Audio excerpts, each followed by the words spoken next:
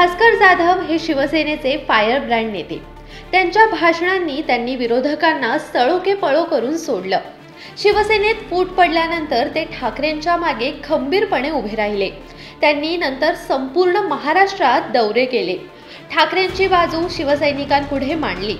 यावेळी त्यांनी शिंदे बरोबरच भाजपच्या बड्या नेत्यांनाही शिंगावर घेतलं. त्यानंतर भास्कर जाधव यांचं संरक्षण काढण्यात आलं. त्यांच्यावर खालच्या पातळीवर टीकाही झाली. या सर्व पार्श्वभूमीवर जाधव काही दिवसांपूर्वी त्यांच्या होम पिचवर म्हणजेच चिपळूणमध्ये आले. चिपळूण रेल्वे स्थानकातच त्यांचं जंगी स्वागत करण्यात आलं. हे सर्व होत असताना जाधवांना मात्र रडू कोसळलं. नक्की त्यावेळी काय झालं? पहा. गेली चाळीस वर्षे मी राजकारणामध्ये आहे. आणि या चाळीस वर्षाच्या राजकीय माझ्या जीवनामध्ये मी अनेक चढउतार पाहिले. पण ज्या ज्या वेळेला माझ्यावर आघात होतो त्या त्या वेळेला माझे सहकारी अशाच पद्धतीने माझ्या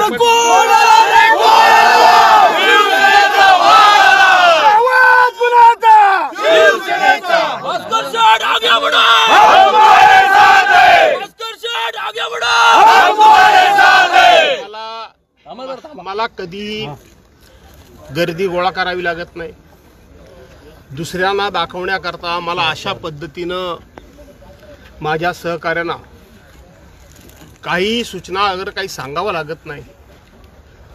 पण ज्या ज्या वेळेला माझ्यावर आघात होतो त्या त्या वेळेला गेले पस्तीस चाळीस वर्षामध्ये माझे असे सर्वच सहकारी माझ्या पाठीशी उभे राहतात. चाळीस चाळीस वर्ष माझ्याबरोबर काम केलेले माझे सहकारी देखील आज या ठिकाणी आहेत. आणि नवीन पिढीतले तरुण सुद्धा माझ्याबरोबर आहेत. आणि म्हणून मला कधीही कुठलंही धाडस करताना कुठलाही निर्णय घेताना मी फक्त माझ्या स्वतःच्याच मनाला विचारतो की मी एखादी भूमिका घेतोय ही योग्य की अयोग्य? आणि एकदा का मी भूमिका घेतली की त्याच्या दुष्परिणामांची मी पर्वा करत नाही? गेली दोन अडीच वर्षे ज्या पद्धतीनं शिवसेनेवर विशेष करून भारतीय जनता पार्टीच्या वेगवेगळ्या कुवत नसलेल्या अधिकार नसलेल्या आणि ज्यांनी खऱ्या अर्थानं तात्कालीन मुख्यमंत्री आणि पक्षप्रमुख उद्धवसाहेब ठाकरे यांच्यावर बोलायलाच नको होतं. एक सुसंस्कृत सभ्य आणि आम्ही म्हणजे पार्टी विथ डिफरन्स अशा सांगणाऱ्या पक्षाचे अतिशय खालच्या थरातले कार्यकर्ते ज्या पद्धतीनं शिवसेनेवर सातत्यानं आणि पक्षप्रमुख उद्धव साहेबांच्यावर टीका करत होते त्याच वेळेला खऱ्या अर्थानं माझा आतला माझ्या आतला कार्यकर्ता हा तळमळत होता तडफडत होता. कारण मी बाळासाहेबांची शिवसेना बघितलेली आहे.